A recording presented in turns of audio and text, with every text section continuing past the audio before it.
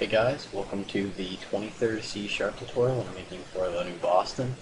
And in this tutorial, I'm going to be showing you how to use properties.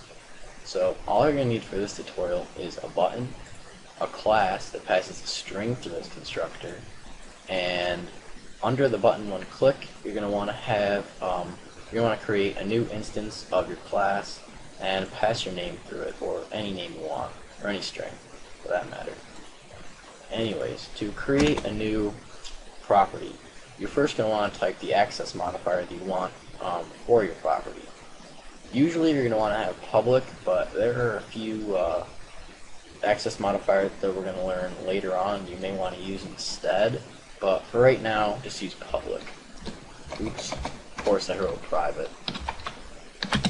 And then you're going to want to um, decide what sort of variable you want your property to hold. For example, you could put like string or integer or bool or something like that. But for right now, we're just going to use string because we're going to set our property equal to the string that it passes through our constructor right here. And finally, you're going to want to give a name to your property. I'm just going to call it name because um, that's what it's going to be set equal to. It's going to be set equal to my name, which is what we pass through here. Then you're going to want to put two curly braces down. And you don't need um, parentheses right here because it's not a method. There are two keywords that you're going to want to know. The first is called get. And if we were to type get right here, this will allow the, uh, the user to read from the property. And the second is set.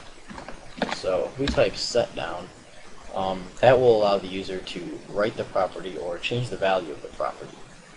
And if we delete set right here, that will make it um, a read-only property, which you may want in some cases. Put set right back there. Alright, now we're going to set um, this property equal to um, the string that it passes through this class right here. The name. And then we're going to have it display that property in a message box. So message box show our class name dot name. All right, and as you can see right there, that uh, that little hand pointing to the notepad, that is the icon for a property, and I'm sure you've seen that before, like on the properties panel right there. All right, and we don't need uh, parentheses right there, like I said before, because it's not a method. So now when we debug, we should get Adam in the message box because we're passing the string Adam through the uh, class and in the constructor right here we're setting um, our our name property equal to the string that it passes through which is Adam. And then we're displaying that property in a message box. Yep Adam. Alright so the, you can put access modifiers on these properties or on this get set right here. So defaultly it, they're the same as whatever you set the entire property to. So since this is public right here, these are both public. But say we want to make this set private, so we would just put private in front of it. And what this will do is it will only allow the user to change the value of the property inside of this class. And this is fine right here because it is inside of this class. But if we try to change it outside of this class, like we do mc.name equals and then, well, anything, we'll get an error and it says the property or indexer my namespace.myclass.name cannot be used in this context because the set accessor is inaccessible. And the accessor, that is this get and set right here. And specifically the set, because that is the one I was talking about. So I'm just going to go ahead and delete that right there. Now, if you want to make your um, property read-only, you're probably like, well, how do I um, set the value of it initially? Well, in order to do that, you're just going to want to um, go ahead and put curly braces right after your get keyword. And inside of here, you're going to want to return the value that you want um, your name to be equal to. So in order for it to be equal to this right here, we're going to create a new string up here. We'll just call it my string, I guess. And we'll set it equal to um, what we pass through right here. So this string right here is now equal to what we pass through this constructor.